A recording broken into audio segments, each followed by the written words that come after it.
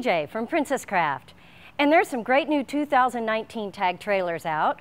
But before we show those to you, we wanted to show you all of the different additions that have happened to a tag along the way.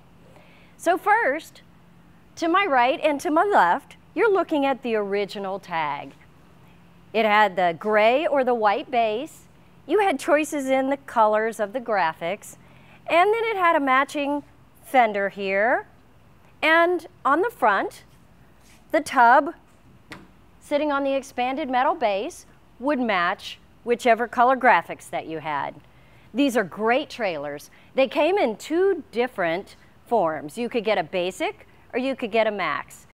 So the max package had the TV, the air conditioner, the front window, and a spare tire. Most of the trailers out there are gonna be the tag with the max package. They were called the Tag Max. Then we had some requests to get a wider one, so nüCamp made a Tag and a Tag XL. Well, the Tag is five foot wide and the Tag XL is six foot wide. So you got very close to a king size bed on the inside. Again, they were both made the same. You could either get it in a basic or in a max. So a few years ago, a customer of ours, and some of you may know her, Mandy Lea Photography, uh, you can look her up online, see some great photos. She actually upgraded her tag and we put off-road tires on it and an aluminum fender. That was really exciting. We had a lot of fun. And after a while, nüCamp made an Outback version. So this is the Outback version of the tag, which was available in the regular tag or the Tag XL. It had great graphics on it. it says Outback Edition right here in the back.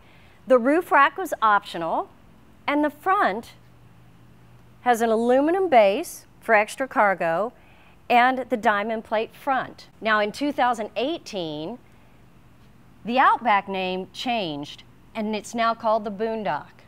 So let's see what that Boondock version looks like in 2019. Now this is the 2019 Boondock Edge. It is the fully loaded version of the off-road tag. Again, it is available in the regular tag or the XL. And let's talk about the new features. This has the diamond plate fender as opposed to the smooth aluminum, gives it a real rugged look. You've got the 15 inch off-road tires, uh, a newer updated wheel. Up on the top, roof, Yakima roof racks. You've got an awning that actually can pull out, give you shade on the front, and two spotlights, one on each side. They've also added a step on the bottom.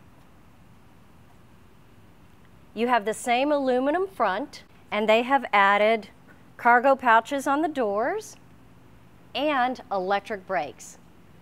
So this is a great off-road vehicle. Check out this Boondock handle. Now remember I told you this is the fully loaded Boondock. It's called the Boondock Edge. There is also a Boondock Lite. So for those of you who wanted to step it down a bit, you still get all of these features except the roof rack, the lights, the awning, and the pouches, and the step. So you still get a nice off-road vehicle. They just took away some of the things that some people may not want to add. So again, the Boondock Lite looks just like this. It's going to have a different graphic, of course, but it's not going to have the rack, the awning, the lights, the pouch, or the step. If you have any questions about what you'd like on your tag or what's available, just give us a call here at Princess Craft. We'll be glad to walk you through it, show you what's out there, and talk to you about the differences. I hope this is helpful for you if you're looking for the right tag that meets your needs.